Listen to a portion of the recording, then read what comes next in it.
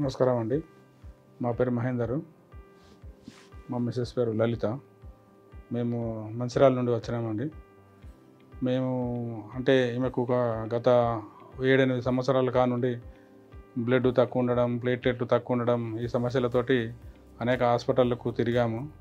కానీ మాకు ఈ అపోలో హాస్పిటల్కి వచ్చిన తర్వాత సారు డాక్టర్ ప్రశాంత్ కుమార్ను కలిసి మాట్లాడడం జరిగింది. సారు దీనికి ఆపరేషన్ చేయాలని చెప్పాడు. దానికి మేము సహకరించాము. మాకు ఆపరేషన్ బాగానే చేశాడు. ఇక్కడ ఉన్న అపోలో స్టాఫ్ కానీ లేకపోతే అక్కడే ఉన్న వాళ్ళు మేము అడిగిన రోజులు మాకు బాగానే చూసుకున్నారు.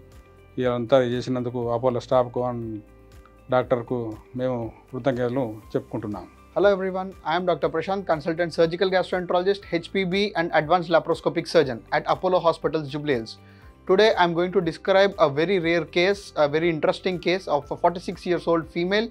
Patient name is Lalita with uh, NCPF related uh, chronic liver disease with severe portal hypertension, varices, history of uh, GI bleed and she also has a massive splenomegaly where spleen is extending up to the left iliac fossa with severe hypersplenism. That is her hb is always constantly in and around 2.5 to 3 platelets around 20 to 30000 and tlc count around 2000 or so.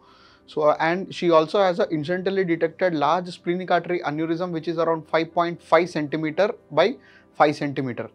So uh, for her uh, i did a, open splenectomy splenic artery ligation in continuity uh, devascularization of stomach and esophagus and also a liver biopsy. The final biopsy has shown it as a uh, NCPF related uh, liver disease and the spleen as congestive uh, splenomegaly. Intraoperatively, there was not much blood loss, hardly 5 to 10 ml, very minimal blood loss. Uh, I, I could do all the varices uh, ligation as well as devascularization. Post-operatively also there was not a major issue. Her post-operative counts have increased. HB was around uh, 8, uh, TLC was around 12 to 15,000 and platelets have increased to 1.5 lakhs.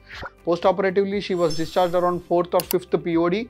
Uh, she was tolerating soft diet and uh, we have removed the drain and we have sent her. She has come for follow-up wherein her wound is completely healthy. Uh, clips have been removed and there is no major issue.